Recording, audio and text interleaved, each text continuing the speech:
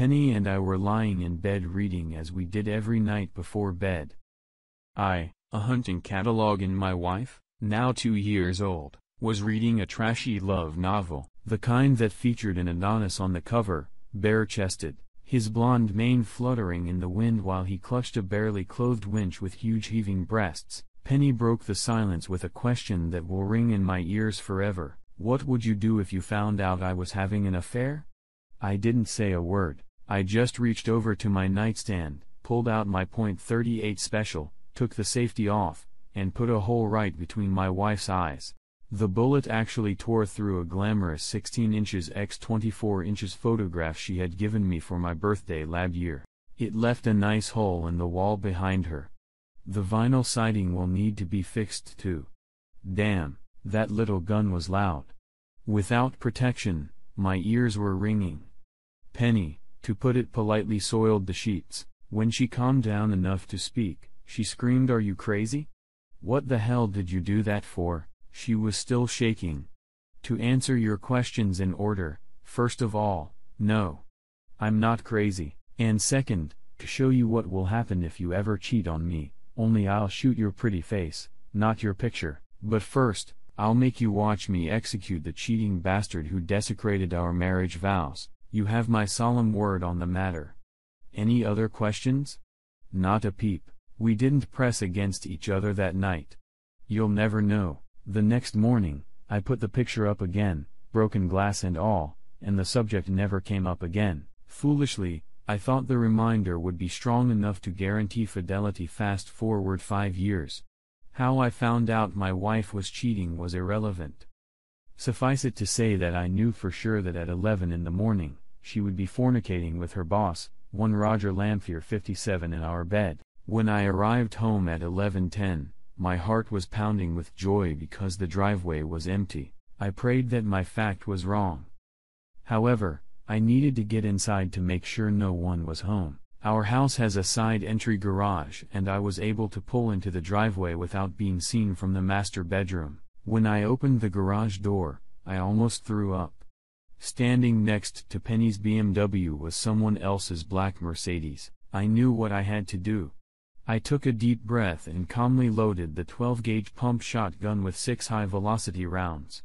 They were duck cartridges that spit out steel that shot more than a 100 feet into the air. I made a circle and slowly opened the door. On the floor of the Italian marble hallway lay a pile of discarded clothes that Penny just had to have. Fury boiled over when I saw my birthday present for her hanging from the banister, lace panties and bra that my wife had yet to wear for me.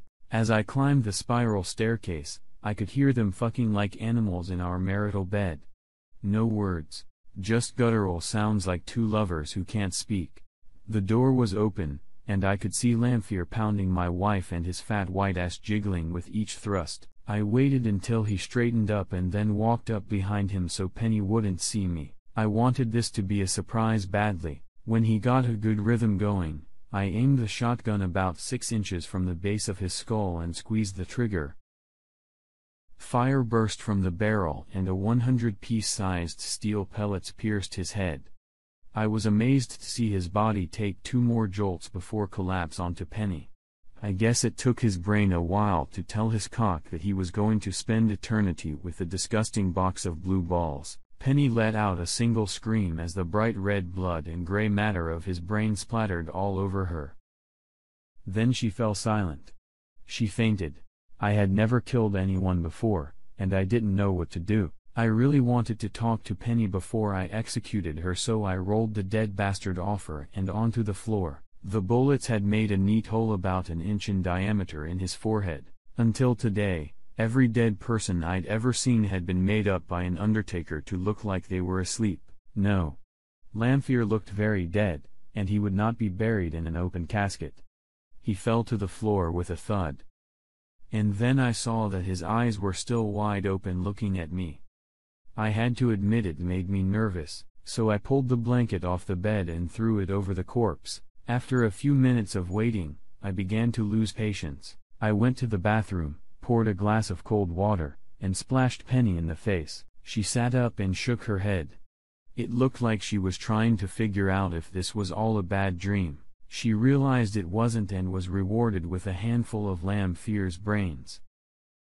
I could see that she realized the reality of her predicament by the pure terror in her eyes. She tried to scream, but fear prevented the sounds from escaping. The only sound was her gulping for air with her mouth, like an asthmatic trying to draw breath. All too soon that was replaced by her banshee-like screams. I was beginning to worry that I wouldn't have the guts to shoot her. I mean, it's one thing to shoot a fat fuck in the back, but it's quite another to kill the woman I loved. I mean, I'm an accountant, not an assassin, you know I get mad when you cry. I'm telling you right now cut the crap. It won't help you one bit. I offered her a towel to wipe the brains and blood off her exposed breasts. She started to speak, but her lips were trembling so badly, I couldn't understand her.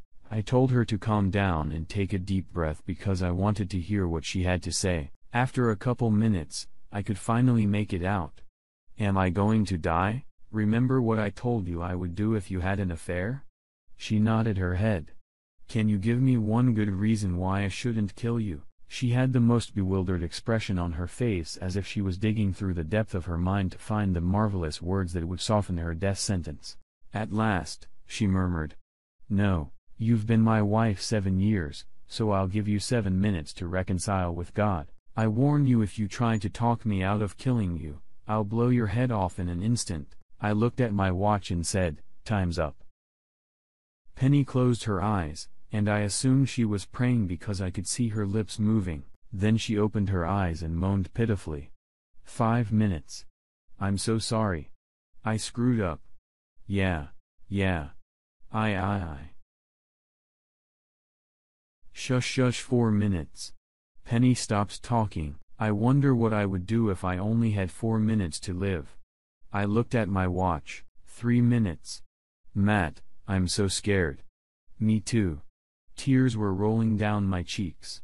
Two minutes, is this gonna hurt a lot? Close your eyes. You'll open them in heaven. Penny started to sob louder but finally managed to speak. Please shoot me in the chest, not in the face. I nodded and pointed the muzzle at her heart. Goodbye. The characteristic metallic sound of the bolt, clicking as it chambered a 12-gauge cartridge echoed through the room. I love you. I love you too. I pulled the trigger and ripped the life out of my wife. The shot made a hole in her chest the size of the hole she'd left in my heart. I sat down next to her lifeless body and cried for at least an hour. Then I took out a notebook and began to write my confession. I started by telling her about the hole in the painting and ended with I am a man of my word and I kept my promise to my wife. My stomach rumbled, and I realized that all I had eaten all day was a cup of coffee. If I call the police right now, I'll be lucky if I have time to eat something before tomorrow morning, I thought. And then inspiration struck. Pizza. I went downstairs and found the menu for the Italian restaurant next door that delivered food. I figured this would be the last pizza I'd ever have. I opened a bottle of beer, which would no doubt be my last, and wrote a note to my brother while I waited. I told him how to suppose of my property, bank account information, etc. I put Penny's insurance policy, all the cash I had on hand, and a bunch of keys in a priority mail envelope, sealed it, and then stuck the correct postage on it. Thirty minutes later, the doorbell rang. I handed the delivery guy 25 bucks and said, keep the change. I made his day. I wasn't sure if it was real or not, but I remembered that almost every detective show takes away the bad guy's belt and shoelaces to keep him from hanging himself. I knew there would be TV cameras in court and I didn't want to walk around like I was homeless. I took what I expected would be my last hot shower, then changed into a pair of comfortable pants that didn't need a belt and a pair of loafers. To make sure my story would get out, I made copies of my confession and mailed them to two reporters whose names I recognized from the front page of the local newspaper. I wanted to make sure everyone knew why I had to do this. I walked about a half mile to the drugstore and dropped the envelopes in the mailbox. As I walked back, I realized I was taking my last walk as a free man. Ten minutes later, I took one last walk through our house ending in the master bedroom. I kissed Penny goodbye one last time and went downstairs to call the police. I placed my signed confession on the floor next to the disassembled shotgun. 911. What is your emergency? My name is Matthew Weiss. I just shot my wife and her lover. I have your address, 2201 Morrison Street. Yes, ma'am. They're in the bedroom upstairs. I'm sending a squad car and an ambulance. I've alerted the officers that you're armed. Please state your intent. No problem, ma'am. Tell the officers I will offer no resistance. The front door is wide open, and I'll be lying face down with my fingers behind my head. A couple minutes later, the first patrol car arrived. It took them almost as long to get in and handcuff me. I was taken to the station in the back of an unmarked car. The next couple days passed like a blur. I was glad I ate before turning myself in as I was interrogated nonstop. I should mention I live in a nice quiet bedroom neighborhood, and this was the first double homicide they had ever had. It seemed like everyone wanted to talk to me. I kept telling them that I explained everything in my confession, but they still insisted on questioning me. The detective questioning me kept asking if I had ever thought about suicide. My answer was always the same I only did what I gave my solemn word, and a man who does not keep his word is not a man. He got even angrier when I refused to tell him how I knew my wife was having an affair and more specifically, when she was having a date with her lover. His fancy words didn't loosen my tongue because I was sworn to secrecy, and I am, after all, a man of my word. I couldn't tell how much time had passed because there was no window or clock in the room, just a metal table to which I was handcuffed in two chairs. Later, when it was early evening, as I assumed it was, a state police investigator took over the interrogation. He seemed like a nice enough guy he even offered me a cup of coffee. It tasted like hell. I told my story again. He thanked me for my time and said he'd be back when it was time for me to go to court. I was then examined by a psychiatrist to determine if I had lost my mind. When he asked if I felt remorse, I said, no. I feel betrayed. I was betrayed by a woman who promised before God and men to leave everyone else behind. Then I added, I had to do what I did. Otherwise, I would not be a man. He was not very pleased with my answers. We argued at length about my morals and ethics for what must have been two hours before he announced that he had what he needed. I was shackled and taken back to my cell to wait for the next inquisitor. The next morning I was brought before a judge for arraignment. After the indictment was read, I was asked if I would plead guilty. Guilty, Your Honor, my court-appointed attorney who looked like he was straight out of law school shouted, No, Your Honor. My client did not do that. I mean, it was a crime of passion, and I'm claiming temporary insanity on his part. I objected just as vigorously that I was not crazy and I knew what I was doing. I shouted, Your Honor, may I please speak? There was a loud roar from the audience cries of let the murderer speak, rang out. Others suggested how to put me to death. One man in a bad suit pushed his way forward, Thompson of the Times. I got your confession in the mail, Mr. Weiss. Is it accurate? I replied, yes, my confession is real, and a couple of burly sheriff's deputies pushed me out of the courtroom. I never heard back from the judge, I spent another fine evening at the Grey Bar Hotel complete with room service food. After eating a dinner of a sausage sandwich, potato chips, and green beans, I sat on my bunk and stared at the wall until the lights went out. That night, the worst thing happened. Matthew Weiss woke up, but he couldn't move. He thought he was having a conscious dream that he couldn't wake up from. He began to panic. He felt his pillow soaked with sweat while the rest of his body was cold. He tried to call out, but he couldn't. The only thing he could do was blink. When the jailer came in the morning to count the prisoners, he ordered Weiss to get out of bed. When he didn't, he called for reinforcements before unlocking the cell. It didn't take them long to realize he wasn't faking it.